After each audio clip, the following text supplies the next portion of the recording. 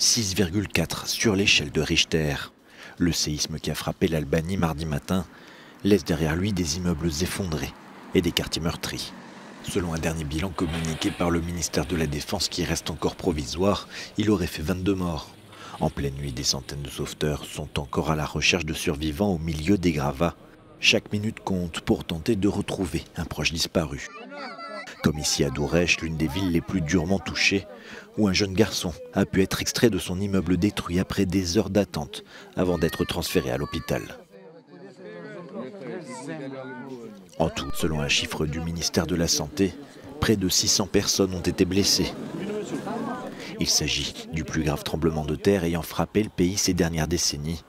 Il a été suivi de 250 répliques. Alors, par sécurité, les habitants de Douresh ont passé la nuit sur des terrains de football, encadrés par des centaines d'hommes des forces armées et de la police.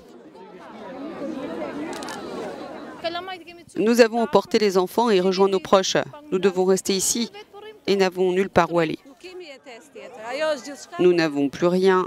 Notre maison était tout ce que nous avions. Je ne sais pas où nous allons aller. À Toumané, autre ville violemment frappée par le séisme, ces images montrent l'ampleur des dégâts. Des dégâts d'autant plus importants que l'Albanie est connue pour son urbanisme sauvage. Les règles de construction sont loin d'y être toujours respectées. Edi Rama, le Premier ministre albanais, a passé la journée au milieu des décombres et des sauveteurs. Le bilan des pertes n'est pas définitif, a-t-il insisté. En urgence, plusieurs pays européens ont dépêché sur place des équipes de secours, notamment l'Italie, la Grèce et la Roumanie.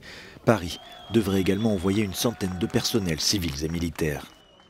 L'Albanie et les Balkans en général, à la croisée de plusieurs plaques tectoniques, sont particulièrement exposés au risque sismique.